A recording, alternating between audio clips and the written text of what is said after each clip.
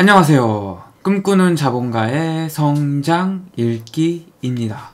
어제보다 더 나은 오늘, 오늘보다 더 멋진 내일을 만듭니다. 네, 오늘은 생각하라. 그러면 부자가 되리라. 생각하라. 그러면 부자가 되리라. 라는 책을 가지고 이야기를 나눠보도록 하겠습니다. 네, 이 책은 이제 제 채널을 구독해 주시는 구독자 분께서 리뷰를 요청해 주신 책입니다. 그래서 제가 이제 과거에도 몇 번 읽었던 책인데 다시 한번 이제 읽고 다시 또 리뷰를 이제 하고 있습니다. 제가 이제 읽었던 책은 어, 이 지금 이 보시는 이미지에 나오는 이것보다 이전 버전의 책이에요. 이거는 이제 새롭게 또 뭔가 리뉴얼이 됐다고 할까요? 개정을 해서 나온 책이고 저는 이 책이 나오기 이전 버전의 책을 가지고 책을 읽었고 거기서 이제 좋은 구절들을 이제 여러분들 소개시켜 드려서 그 책의 내용들 크게 변하지 않았겠지만 이제 페이지 수는 조금 안 맞을 수 있어요. 그 부분은 좀 참고해 주시고요. 이 책의 저자는 이제 나폴레옹 힐이라는 그 자기개발서에서는 엄청난 분이시죠. 그래서 나폴레옹 힐이라는 분이 쓴 책이고요. 출판사는 국일미디어입니다. 국일미디어는 전반적으로 굉장히 좋은 책들을 많이 내고 있는 출판사고요. 아마 뭐 주식 투자라든지 뭔가 투자, 경제적자 이쪽에 관심이 많으신 분이라면은 아마 구글 미디어의 책들을 많이 보셨을 겁니다. 출간일은 2018년 1월 22일. 네, 그렇고요. 가격은 13,500원입니다. 네, 페이지 수는 총 256쪽으로 이루어진 책입니다. 네, 오늘은 크게 네 가지를 말씀드릴 건데요. 첫 번째, 인생의 12가지 재산. 두 번째, 명확한 목표의 중요성. 세 번째, 인생에서 하고 싶은 것을 하라. 네 번째, 신을 빚지게 만들라. 이 네 가지를 가지고 이야기를 나눠보도록 하겠습니다. 네, 페이지 22쪽입니다. 인생의 12가지 재산. 1. 긍정적인 정신 자세. 모든 부는 본질을 어디에 두든지 마음가짐에서부터 시작된다. 마음가짐이란 사람이 완전히 통제할 수 있는 유일한 대상이라는 점을 유념하도록 하자. 조물주가 사람에게 생각하는 능력과 그것을 어떤 형태로 드러내는 특권을 부여한 것 외에 다른 컨트롤 능력을 허락하지 않았다는 사실은 매우 의미심장하다. 마음가짐은 전자석과 같아서 한 사람을 지배하고 있는 생각이나 목표, 의도의 결심을 끌어당긴다. 이 건강. 건강은 건강한 의식에서 시작된다. 건강한 의식은 건전하게 생각하고 규칙적인 식사 습관을 지키며 적당히 균형 잡힌 신체 활동에 주력하는 생활을 할 때 유지된다. 3. 조화로운 인간관계. 타인과의 조화, 조화는 자기 자신으로부터 시작된다. 셰익스피어가 말한 대로 진실한 자아에 순응하는 자는 합당한 이득을 얻을 것이다. 어, 4. 4네요, 4. 4. 공포로부터 자유. 두려워하는 사람은 노예나 다름없다. 공포는 불행의 전조이므로 그런 생각이 덮칠 때마다 제거할 줄 알아야 한다. 완벽한 의미의 부자라고 할 수 있다.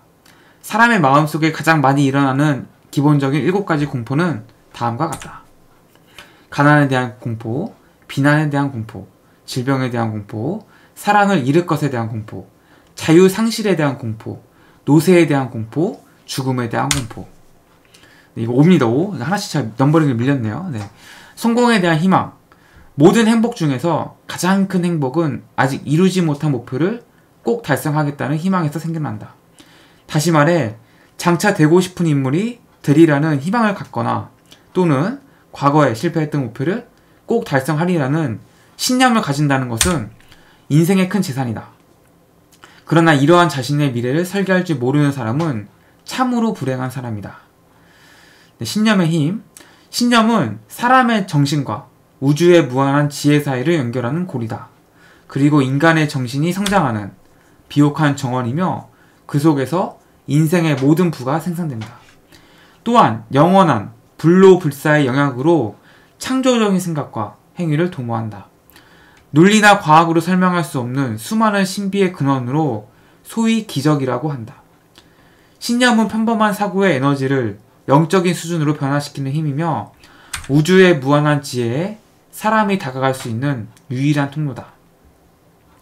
베푸는 마음. 나눔이라는 신성한 방법을 실천하지 않는 사람은 행복의 진정한 통로를 발견하지 못할 것이다. 왜냐하면 행복은 나눌 때에만 비로소 찾아오기 때문이다. 따라서 모든 부는 타인에게 봉사하며 나누는 단순한 방법을 통해 더욱 가치를 지니고 증식된다는 점을 영원히 잊지 말아야 한다. 자산활동.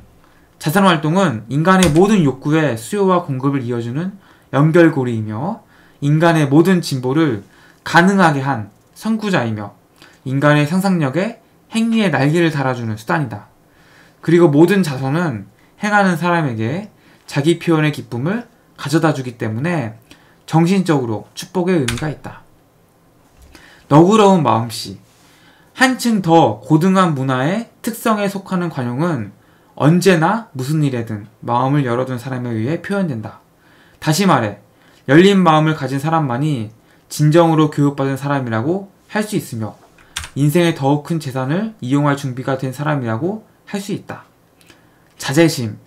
자기 자신의 주인이 되지 못하는 사람은 절대 어떤 것의 주인도 될 수 없다. 이해심.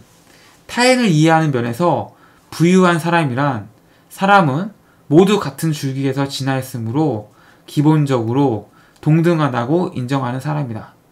따라서 인간의 모든 행위는 다음과 같은 인간의 자발적인 행동을 유도하는 아홉 가지 기본 동기 중 한두 가지에 의해 고무된다.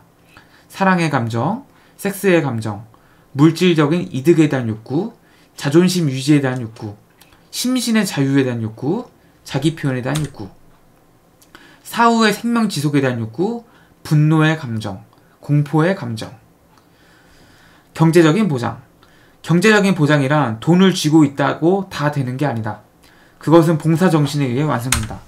돈을 쓰던 쓰지 않던 인간의 모든 필요에 부응하는 유용한 서비스를 행함으로써 달성되는 것이다.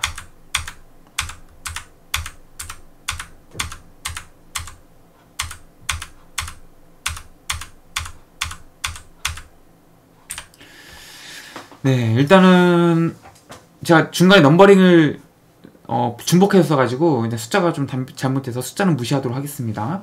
네, 하나하나 살펴볼게요. 긍정적인 자, 정신 자세. 이제 긍정적인 정신 자세라는 거는 이제 모든 것들을 이제 긍정적으로 생각을 하는 거죠. 그래서 뭐 자기 개발서에서 굉장히 많이 이야기를 하고 있습니다. 그래서 모든 부는 본질을 어디에 두든지 마음가짐에서 시작된다는 거죠. 그래서 이 마음가짐이라는 거는 사람이 완전히 통제할 수 있는 유일한 대상이다. 내 마음은 내가 유일하게 통제할 수 있는 거잖아요. 다른 사람이 내 마음을 어떻게 할 수 없잖아요. 그러니까 우리가 일제 강점기 시대 일본인들은 우리나라의 국민 의식을 막 없애려고 막 민족 문화 말살 정책들을 막 썼잖아요. 하지만 그럼에도 불구하고 독립의 움직임들은 절대 끊이지 않았고 수많은 사람들이 대한 독립 만세를 막 외치고 그랬잖아요. 그런 것들이 전부 다 이제 이런 이런 거랑 똑같은 거죠. 어, 모든 것은 어, 마음에서부터 시작되고 그 마음가짐이란 거는 다른 사람이 어떻게 할 수가 없는 거예요. 이거는 온전히 내가 마음대로 할 수 있는 거지. 내 마음이라는 것은. 그래서 이 부, 뭐 성공, 내가 어떤 일을 하는 데 있어서도 역시 이 마음가짐이 굉장히 중요하다는 거죠. 근데 그 마음가짐이 어떻게 해야 된다는 거죠? 긍정적이어야 된다는 거예요. 우리가 부정적으로 생각하면 아무것도 되지 않죠. 예를 들어서 나는 부자가 될 수 없어. 라고 생각을 하면은 정말 부자가 될 수 없는 거예요. 근데 아, 나는 부자가 될 수 있어.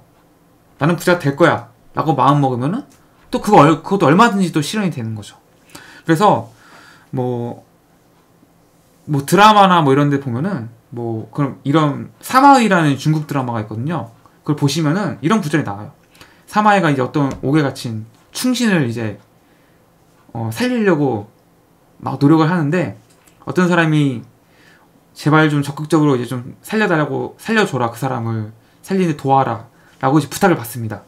그때 사마이가 뭐라고 하냐면은 살고자 하는 사람은 어떻게든 살릴 수 있지만 죽고자 마음먹은 사람은 어떤 수를 써더라도 살릴 수가 없다는 이야기를 합니다. 이 마음가짐이 굉장히 중요하다는 거죠. 그래서 이미 그 충신은 자기를 나라에 바치기로 자기 목숨을 나라에 바치기로 결심했기 때문에 죽기로 결심한 거예요. 그렇기 때문에 살릴 수가 없다라는 거죠. 그래서 우리가 어떤 일을 할 때도 마찬가지인 것 같아요. 어떤 일을 할 때도 음, 이 마음가짐, 긍정적으로 생각하는 그런 말들이 정말 중요한 게 우리가 이걸 할 수 없다고 생각하면 절대 할 수가 없어지는 거예요. 근데 나 이거 어떻게든 해내겠다. 반드시 해내겠다고 결심하면은 이제 되는 거죠. 이제 건강. 건강은 이제 너무나 중요하죠. 어, 건강이 약해지면은 마음도 약해지잖아요.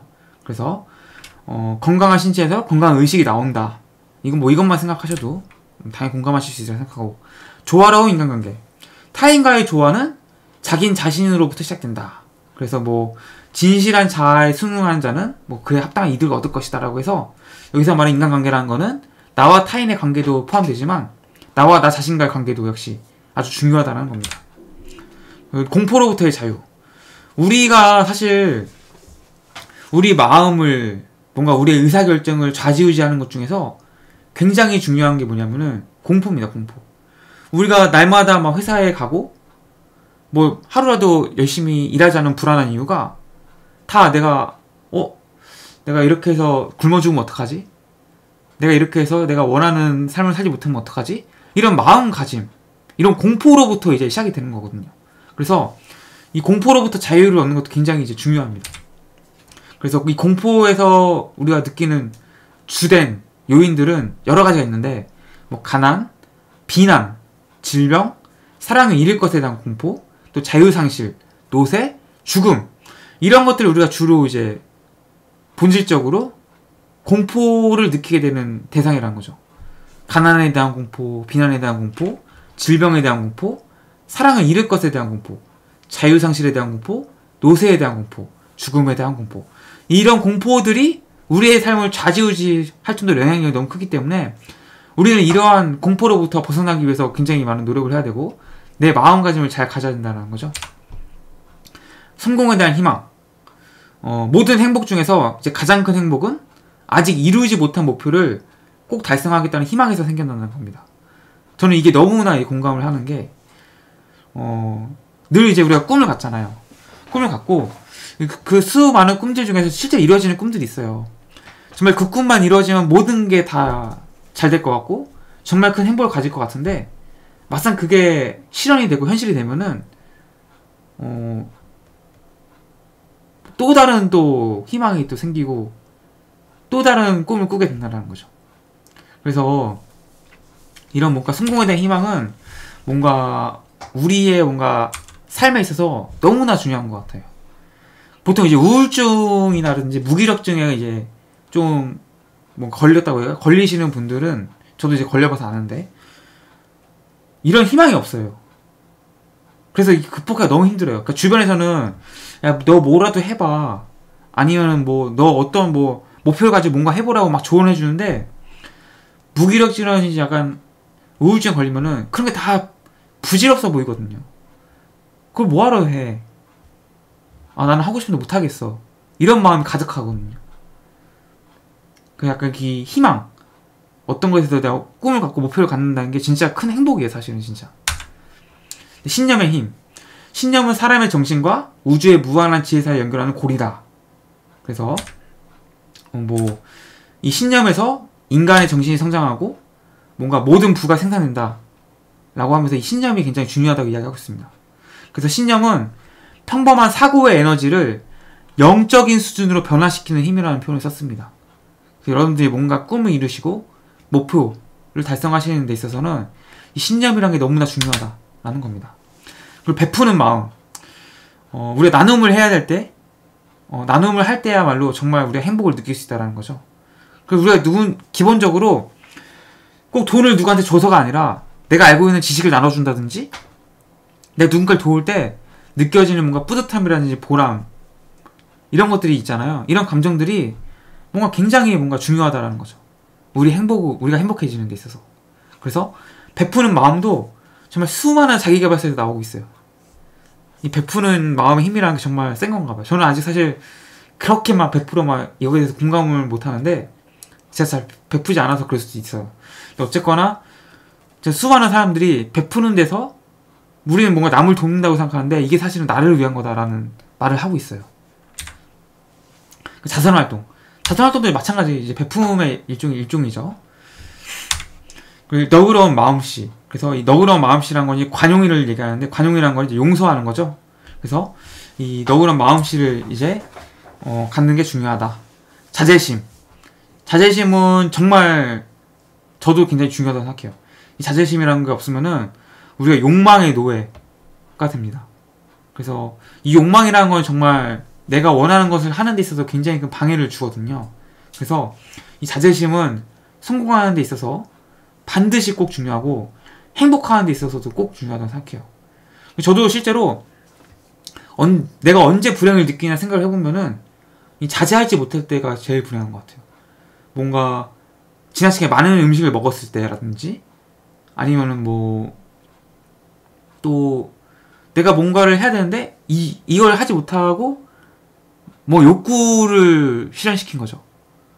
예를 들면서 막 수면 잠을 더 자고 싶은 욕구 막 이런 거. 그 늦잠, 늦잠을 잔다든지 이럴 때 저는 굉장히 불행하더라고요. 그래서 이제 저는 가급적 일찍 일어나는 노력을 많이 하는데 아무튼 뭐 그렇습니다. 이해심, 뭐 타인을 이해하는 능력 이것도 중요하고 네 그렇습니다. 그 다음에 뭐 경제적 이 보장, 뭐 경제적 보장도 굉장히 뭐 중요하다 이런 얘기를 하고 있습니다. 네, 페이지 47조 명확한 목표의 중요성. 역사상 뛰어난 업적을 남긴 지도자들은 모두 자신의 주요 목표가 무엇인지를 명확하게 결정한 뒤 자신의 능력을 집중시킴으로써 놀라운 리더십을 얻을 수 있다. 그러나 실패자로 분류된 사람들은 그런 목표도 없이 마치 키 없는 선박처럼 빙빙 방황하다가 원래 출발지로 돌아왔다. 이러한 출, 이러한 실패자들 중 몇몇은 명확한 목, 주요, 명확한 주요 목표를 갖고 출발을 하지만 일시적인 패배나 격렬한 저항에 부딪힐 때마다 목표를 포기해버렸다. 결국 우리가 실패를 하느냐, 성공을 하느냐에 있어서 가장 중요한 기준 중 하나가 목표가 얼마나 명확하느냐라는 거죠. 역사적으로 뛰어난 뭔가 지도자들, 역사적으로 뛰어난 업적을 남긴 사람들은 모두가 이제 자신의 주요 목표가 무엇인지를 명확하게 결정을 했고 거기에다가 자신의 능력을 집중시켰다라는 겁니다. 그럼으로써 놀라운 리더십을 실현시켰다. 근데 반면에 실패하는 사람들, 실패했다고 분류되는 사람들은 그런 목표가 없이 그냥 뭐 열심히만 했다거나 열심히도 하지 않았던 거죠. 그래서 이런 주요 목표를 가져야지 우리가 성공을 할 수 있다. 라는 메시지를 전하고 있습니다. 페이지 58쪽입니다. 인생에서 가장 하고 싶은 것을 해라. 이제 당신이 인생에서 무엇을 원하고 그 대가로 무엇을 지불할 것인지 결정하라. 어디로 가고 어떻게 도달할 것인지를 결정하라. 그런 다음 당신이 지금 서 있는 곳에서 출발해보라.